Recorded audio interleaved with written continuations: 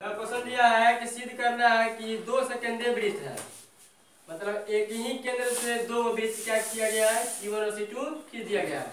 तो कह रहा है अगर एक ही वृत्त से दो एक ही केंद्र से दो वृत्त क्या किया, खींचा गया हो तो सिद्ध कर दे कि बड़े वृत्त की जीवा जो है, छोटे वृत्त को जो स्पर्श करती है, वह क्या होती है?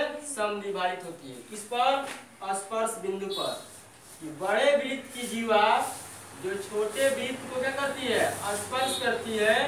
वह स्पर्श बिंदु पे क्या होती है? समविभाजित, यानी दो भागों में बढ़ रही है। यहाँ पर हम मान लिए दो वृत्त बनाए, एक ही केंद्र ओ से दो वृत्त बनाए, एक C1 और एक C2 बड़े वृत्त को मान लिए C1 और छोटे वृत्त को मान लिए है C2 तो यहाँ पर बी जो है, बड़े वृत्त C1 की क्या है? जीवा है।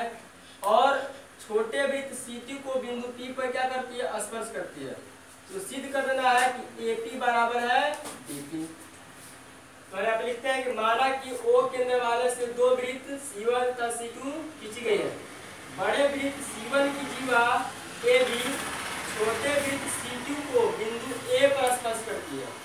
तो सिद्ध कर देना है कि AP बराबर DP इसलिए चूँकि AB C2 के AB C2 के बिंदु बी पर। ए बी सी टू के बिंदु पी पर स्पर्श करती है।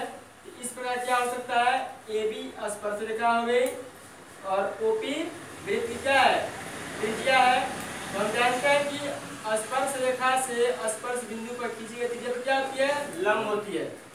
तो ए बी सी टू के बिंदु पी पर स्पर्श करती है। इस प्रकार ए बी स्पर्श रेखा तथा OP वृत्त की त्रिज्या है। इस प्रकार हम लिख सकते हैं OP लंब ए बी ओपी जो है AB पे क्या है? लंब है क्यों? क्योंकि स्पर्श बिंदु से खींची गई त्रिज्या पर क्या होती है? लंब होती है।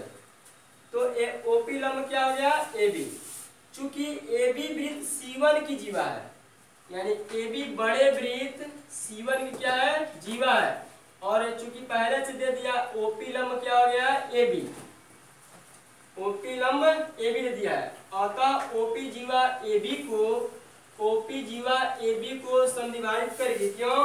क्योंकि एक नियम है कि केंद्र से जीवा पर डाला गया लंब समविभाजित करता है, यानी केंद्र से जीवा पर AB पर डाला गया लंब क्या करता है? दो भागों में बांटता है। या केंद्र से जीवा ओपी जो है, वृत्त जीवा OP पर AB पर आया हुआ है, इसलिए क्या हो जाएगा? AP बराबर 一比